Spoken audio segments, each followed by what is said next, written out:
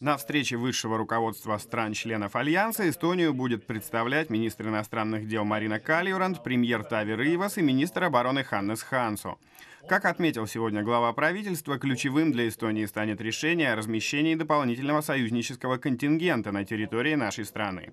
Он отметил, что это станет надежным сигналом о том, что Эстония не одинока, что у нее есть надежные партнеры и наша независимость, безусловно, защищена. Он также отметил, что неправы те, кто считает размещение союзных войск шагами по эскалации напряжения. Я не раз говорил о том, что Эстония не готовится к войне. Нахождение на нашей территории союзных войск – это абсолютно нормальная ситуация. У Эстонии есть надежные союзники, мы являемся членом самой сильной организации взаимной обороны. Союзники базируются в Германии, Италии, Бельгии, Великобритании и других странах. Речь не идет о бряцании оружием. Страны нашего региона по-разному реагируют на наращивание присутствия НАТО. Балтийские страны и Польша, несомненно, чувствуют себя спокойнее и увереннее после таких жестов Альянса.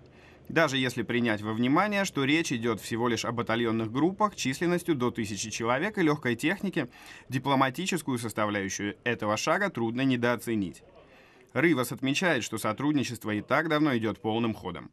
В качестве примера длительного и плодотворного сотрудничества можно привести союзническую миссию в Эмере, где базируются воздушные патрули ротируемых ВВС Альянса.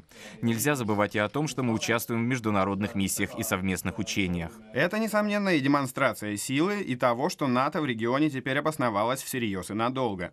Россия тоже пока реагирует осторожно. Как много раз отмечалось в прессе, пока НАТО не развертывает в Прибалтике стратегические вооружения, обладающие серьезным наступательным потенциалом, Наш восточный сосед вряд ли будет резко реагировать на происходящее. Хотя российские политики не раз подчеркивали, что шаги НАТО не останутся незамеченными.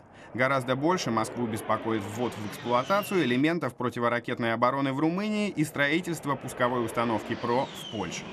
Алексей Иванов, Сергей Попридуха, Первый Балтийский канал.